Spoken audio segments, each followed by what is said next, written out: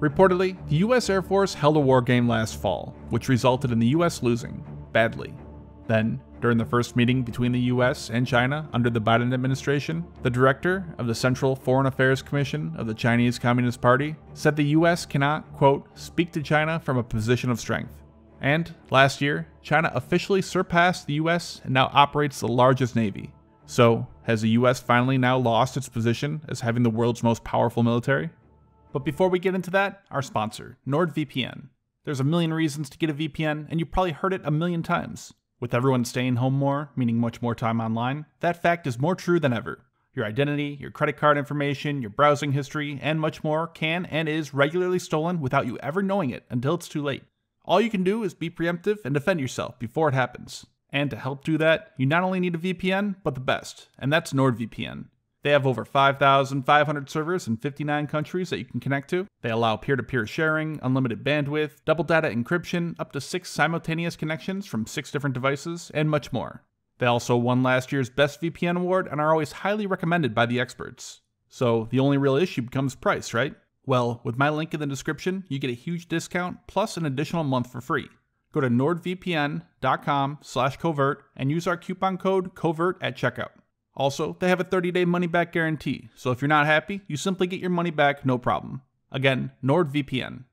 So, going back to those statements, you can argue the other side, or even just that they're taken out of context. The war game that took place assumed that China used biological weapons, and the full results of that war game are classified. The statement made during the meeting was mostly in context of economic and Chinese domestic issues, and having the largest navy doesn't necessarily make it the strongest. And, of course, the media tends towards sensationalism, as it attracts a larger audience, which makes them more money. But you can't ignore the general trend. On our podcast, we had on a former US naval fighter pilot and a Top Gun instructor. He actually has his own podcast as well, called the Fighter Pilot Podcast, that I highly recommend. But when he joined the Navy back in the 1990s, he said people's opinion of the Chinese military might be, oh, look, how cute. But he said that has changed drastically in the last couple decades. And that's true. China now operates two aircraft carriers and quickly building more.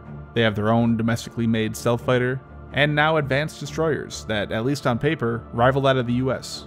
But beyond just having new, advanced weaponry is the sheer number of them that they're building. Right now alone, they are in the middle of building 18 new destroyers. The US, on the other hand, is working on six. And this trend has become more and more apparent over the last couple decades. The US has less aircraft carriers, less cruisers, zero frigates, less submarines, and less amphibious and auxiliary ships than they did 20 years ago. Making the problem worse is that the US forces are spread across the world. They have forces in Europe to deter Russia, across the Middle East to deter Iran, some in Africa fighting the war on terror, and then the Pacific.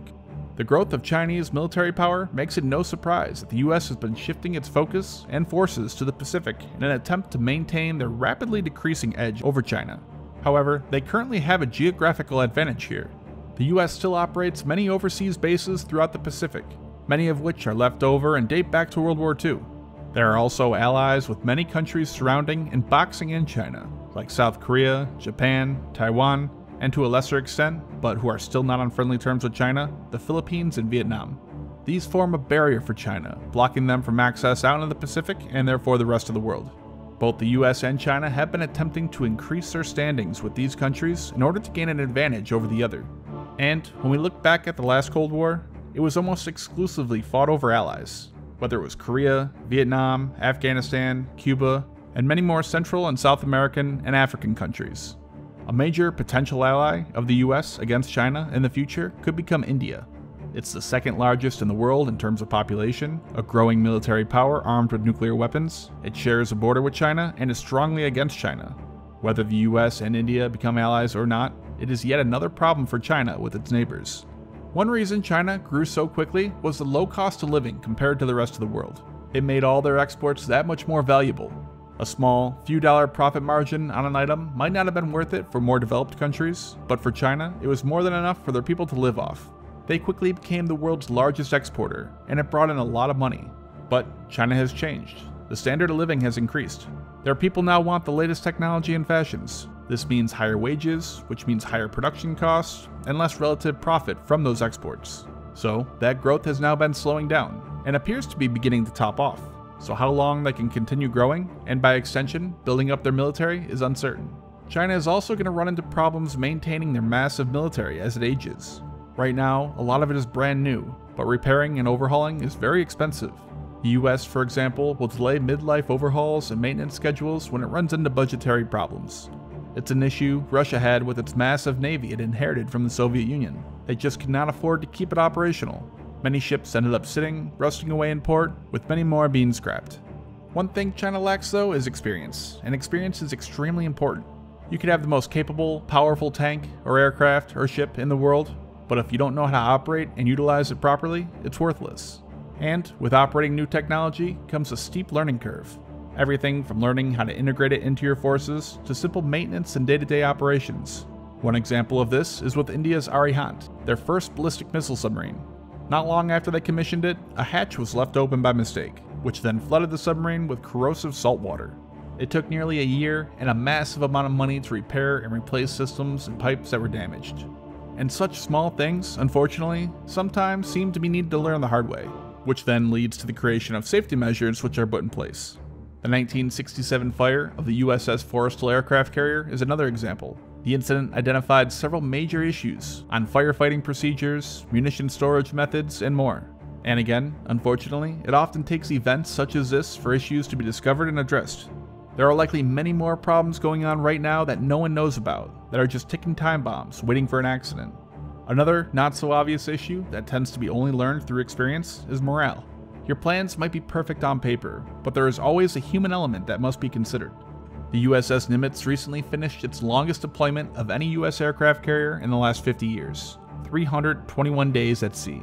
That has a massive effect on its crew, and things like this often lead to reduced retention rates, with more people choosing not to reenlist.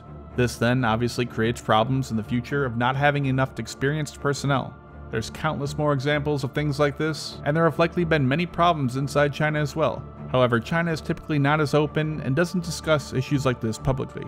Either way, experience is something that China lacks. They have been building up a powerful military, but it hasn't yet been tested. Exercises, drills, and war games can help identify and sort out problems, but nothing can compare to experience gained from real combat. You just can't accurately predict and model every last scenario that could arise. But that is changing. China has recently become more active in the international community in peacekeeping operations and flexing their military strength further and further out into the Pacific. And with their seemingly ever growing military power, barring some unforeseen event, it won't be long until they finally do surpass the US.